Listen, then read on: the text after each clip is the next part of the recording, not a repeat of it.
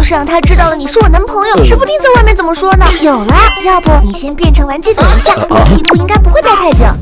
敲这么半天才看，完了，今天孩子也来了？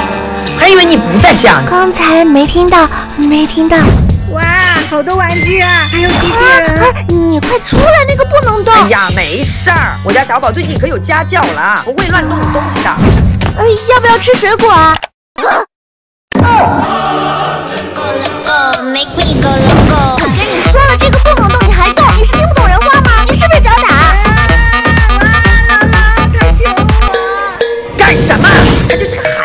跟他计较什么呀？瞧给我家小宝吓的。哎呀，不哭啊，不哭不哭，小宝，。这就是您跟我说的，您的孩子有家教，不乱动别人东西。看他把我收藏的玩具都弄成什么样子了不。就是个玩具嘛，你至于吗？这么大个人了，也不让个孩子点儿，孩子玩一下怎么了？玩坏了赔你一个不就行了？那给你两百，再买一个新的。瞧你玩个玩具，瞧你给新。这些都是用钱买不到的。给你钱你都不要了，咋了？你还要讹我呀？我可是你长辈啊！我告诉你，没大没小的，什么家教？呃机械故障不关我事。